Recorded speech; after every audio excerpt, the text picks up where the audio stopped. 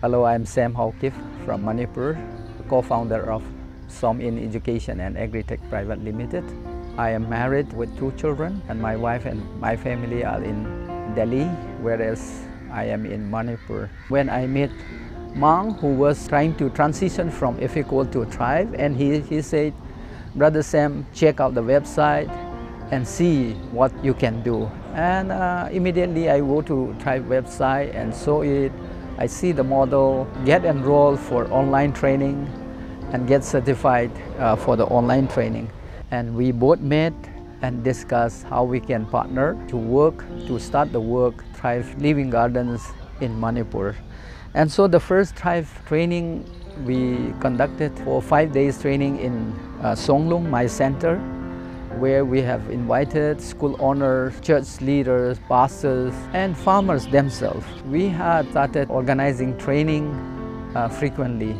We also conducted, uh, you know, the first trainees who have come to my center in July 2022 had also uh, started their own work. For example, VM Nazareth English School owner Pu Mangsa had you know, a demonstration unit in his own school hostel students and he was doing very well.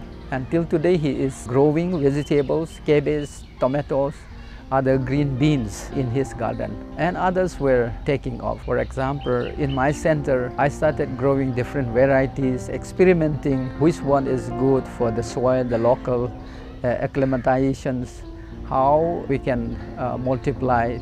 I was thinking of started inviting people to come and stay and learn and even train them there practically in my garden. Then unfortunately the conflict happened in May 3rd and so everything uh, what we had done come to a standstill uh, till today. We made a video, a promotional video and sent it out to school owner, churches and other farmers. So people were started showing interest and inviting us. That is the time this conflict happened and till today we could not take any other training programs. However, the experience so far has been very, very encouraging. Particularly in my garden, Artemisia plant has grown up very well and during this conflict when people were getting sick like having fevers, malaria. I offer them every morning, every afternoon. I told them you can go and pluck the leaves, make it as a green tea and drink it.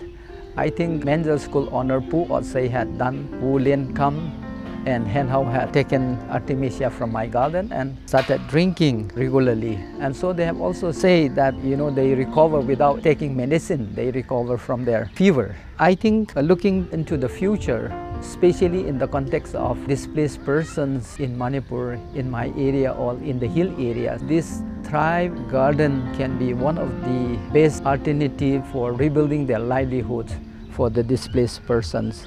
They can do it in a small land wherever they are. They can do it in their uh, home seat again and we can also take it further with institutions like schools, colleges and churches in areas where we are concentrating at the moment. My experience has been very very encouraging so far. I think we need to promote this Thrive Garden as an alternative livelihood rebuilding program for internally displaced persons in the future. Thank you.